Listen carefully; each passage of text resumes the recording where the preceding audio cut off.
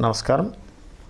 మనం ఈరోజు కాందాయి ఫలంలో మనం నాలుగు నాలుగు నెలలుగా చెప్పుకోబోతున్నాం. ఇప్పుడు ఆఖరి నాలుగు నెలలు అంటే ఎగ్జాక్ట్లీగా మనకి డిసెంబర్ జనవరి ఫిబ్రవరి మార్చ్ ఇరవై రెండు వరకు. ఎందుకంటే మనకి మార్చ్ ఇరవై రెండుకి మరలా ఉగాది వస్తుంది.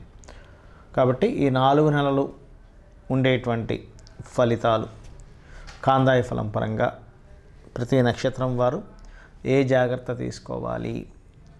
అని చెప్పి విషయాలు ఇప్పుడు మనం తెలుసుకుందాం. అయితే దీనికంటే ముందుగా ఇక్కడ ఏంటంటే అసలు గ్రహస్థితి ఎలా ఉంటుంది? నాలుగు నెలలు గ్రహాలు ఎక్కడెక్కడి నుంచి ఎక్కడి వరకు స్థితి పొందుతాయి? సహజంగా ఉండేటువంటి మేజర్ ప్లానెట్స్ ఏవైతే ఉన్నాయో రాహుకేతువులు గురుశనులు వీళ్ళు ఎక్కడ మారటం లేదు. కాకపోతే శని మాత్రం మారుతున్నాడు. అది ఎప్పటి నుంచి మారుతున్నాడు అని చెప్పి చూసుకున్నట్లయితే మనకి ఈ యొక్క జనవరి పదిహేడవ తేదీ మారుతున్నాడు శని. మేషన్ మన మకరం నుంచి కుంభరాశిలోకి మారుతూ ఉంటాడు.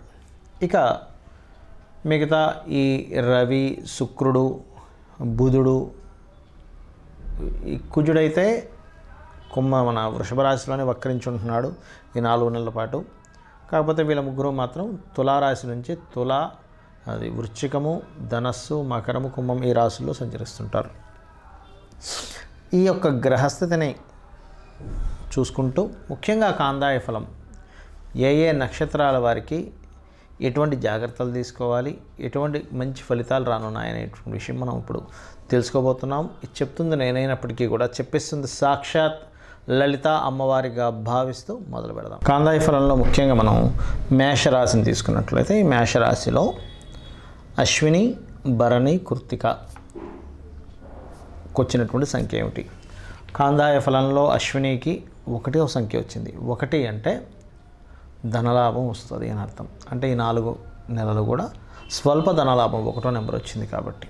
అదేవిధంగా ఎటువంటి వాటిల్లో వచ్చేటువంటి ఛాన్సెస్ ఉన్నాయి? సర్వసాధారణంగా మనకేంటంటే ఎప్పుడైతే డిసెంబర్ మాసం వస్తుందో డిసెంబర్ రెండో తేదీ నుంచి పర్టికులర్గా మౌడ్ మౌఢ్యం కూడా పోతుంది.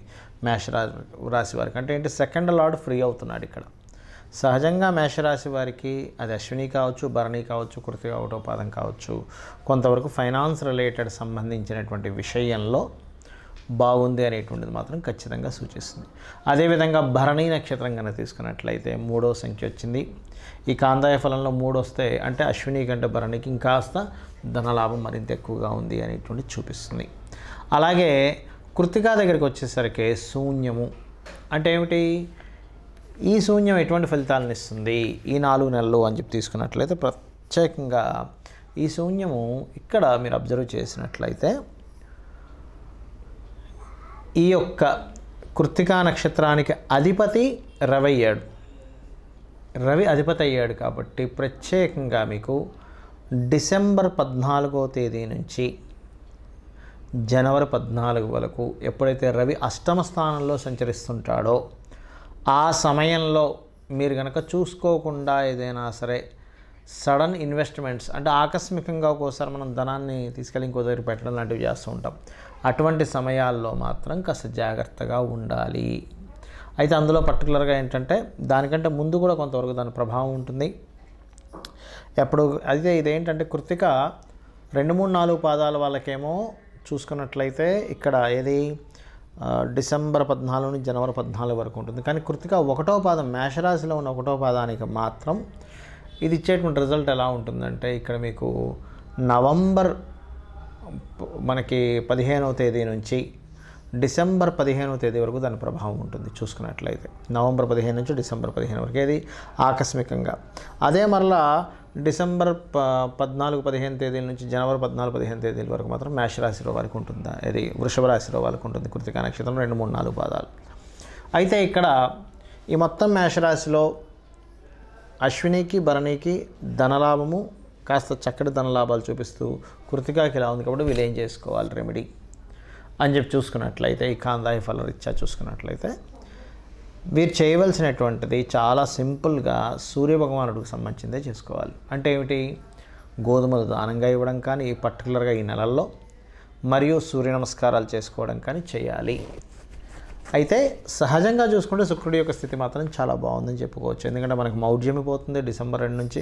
కంటిన్యూస్గా అతను మిత్రక్షేత్రాల్లో సంచరిస్తూ మనకి ఈ మార్చి ఇరవై రెండు వచ్చేసరికి మేషాన్ని చేరుకుంటాడు ఆయన. ఈ రాసులన్నీ మారుకుంటాయి. ఎందుకంటే ఫాస్ట్గా మూవింగ్ ఉంది అక్కడ చూసుకున్నట్లయితే. కాబట్టి ఈ యొక్క పరిహార మార్గం చేసుకుంటూ సర్వసాధారణంగా అందరూ కూడా అంటే మేషరాశిలో వాళ్ళందరూ కూడా చేసుకోవాల్సింది ఏంటి? సూర్యభగవాను యొక్క ఆరాధన ఒకటి ముఖ్యంగా చేసుకోవాలి. ఈ ఫోర్ మంత్స్ కూడా అందులో పర్టికులర్గా ఈ మంత్లో నేను ఇందాక చెప్పినటువంటి మంత్లో ప్రత్యేకంగా దానం ఇచ్చినట్లయితే కృతికా నక్షత్రం వారికి ధన నష్టం కలగకుండా మనం ఆపుకోవచ్చు. ఇక మిగతా అంశాలు ఈ ఫోర్ మంత్స్లో చూసుకున్నట్లయితే ఏదైతే మనం ఈ ఉద్యోగ సంబంధించిన విషయాలు కానివ్వండి అందులో ఉద్యోగ సంబంధించిన విషయాల్లో జనవరి పదిహేడవ తేదీ నుంచి ఎప్పుడైతే శని మారుతున్నాడో కుమ్మంలోకి మరింత బాగుంటుంది. విద్యా సంబంధించిన విషయంలో కూడా పాజిటివ్గా ఉంటుంది మేషం వారికి. అదేవిధంగా ఆస్తి సంబంధించిన ప్రాపర్టీ రిలేటెడ్ సంబంధించిన విషయాల్లో కూడా చాలా చక్కగా ఉంటుంది. కాకపోతే సప్తమ స్థానంలో కేతువు యొక్క సంచారం జరుగుతుంది కాబట్టి ఈ యొక్క వివాహ సంబంధించిన విషయాల్లో మాత్రం ఇంకా కేతువు జరగట్లేదు కాబట్టి ఇంకాస్త జాగ్రత్త మాత్రం వహిస్తూ ఉండవలసినటువంటి స్థితి ఉంది. మనం ఇప్పటివరకు చెప్పుకున్నటువంటి కాందాయ ఫలం కానివ్వండి రాశి ఫలాలు కానివ్వండి పక్షం కానివ్వండి వారఫలాలు కానివ్వండి వీటన్నిటికంటే అతి ముఖ్యంగా మీరు చూసుకోవాల్సినటువంటిది మీ యొక్క జన్మజాతక ఫలితాలు. ఎందుకు అంటే ప్రతి వ్యక్తి కూడా తను గొప్ప విషయాలు సాధిస్తున్నా గొప్పగా అతను ఏదైనా సరే సంపాదిస్తున్నా లేదా సంపాదించుకున్నది పోగొట్టుకుంటున్నా లేకపోతే చేస్తున్న ఏ పనైనా సరే కలిసి రాకుండా ఉంటుంది అనుకుంటున్నా దానికి కారణం ఏమిటంటే ఆ పర్సన్ ఆ వ్యక్తి ఎవరైతే ఆ జీవి ఎవరైతే ఉన్నారో అతను చేసుకున్నటువంటి పూర్వజన్మ కర్మ ఫలితమే. ఈ పూర్వజన్మ కర్మ ఫలితం ఎలా తెలుసుకోగలము అంటే మన జన్మజాతకంలో ఉంటుంది అది అంటే మనం ఏదైతే మంచి ఫలితాలు అంటే మంచి పనులు చేసామో అది శుభ ఫలితాలు ఇవ్వడానికి గ్రహం అక్కడ ఉంటుంది. గ్రహరూపేణ మనం చేసినటువంటి కర్మ ఏదైతే ఉంటుందో తెలుసో తెలియక అజ్ఞానంలో చేసినటువంటిది గ్రహం అక్కడ ఆ యొక్క స్థానంలో స్థితి పొంది ఉంటుంది. మరి ఇది ఎలా తెలుసుకోవాలి? మనం జన్మించిన సమయం దీన్ని బట్టి లగ్నం తెలుసుకోవచ్చు. డేటు టైము ప్లేస్ బట్టి మీరు జన్మించిన సమయంలో ఉన్న లగ్నం నుంచి గ్రహాలు ఎక్కడెక్కడ ఉన్నాయి? అందులో మీరు ఎదగడానికి ఎటువంటి కండిషన్స్లో మీరు అంటే ఎలా ప్రయత్నం చేస్తే మీరు లైఫ్లో ఎదుగుతారు? మీ సంపాదన కానీ మీ కుటుంబ సంబంధించిన అభివృద్ధి ఏం చేస్తే మీ కుటుంబ అభివృద్ధి అవుతుంది? మీ ప్రయత్నాలు ఏం చేస్తే ఫలిస్తాయి? మీకు ఏ డైరెక్షన్స్ కలిసి వస్తాయి? మీ సంతాన స్థితి దగ్గర నుంచి ప్రేమ వ్యవహారాలకు సంబంధించిన విషయం దగ్గర నుంచి. మీకు పూర్వజన్మలో కర్మ మనకు అంటూ ఉంటారు. పూర్వజన్మ కృతం పాపం వ్యాధి రూపైన పీడితం. హెల్త్ ఇష్యూస్ దగ్గర నుంచి రుణాల దగ్గర నుంచి శత్రుత్వాల దగ్గర నుంచి వివాహ జీవిత భాగస్వామి అదేవిధంగా ఆకస్మిక సంఘటనలు ఏమైనా ఉన్నాయా? ఇక్కడ చదువుతారా? లేకపోతే విదేశాల్లో చదువుతారా? వృత్తి వ్యాపార ఇన్వెస్ట్మెంట్స్ ఇవన్నీ కూడా మీ జన్మజాతకాల్లో ఉంటాయి. అంటే వీటన్నిటికీ సరైన రూట్ ఉంటుంది. అంటే మీరు ఏ రూట్లో వెళ్తే సక్సెస్ అవుతారనేటువంటి మీ పర్సనల్ చార్ట్ చెప్తుంది.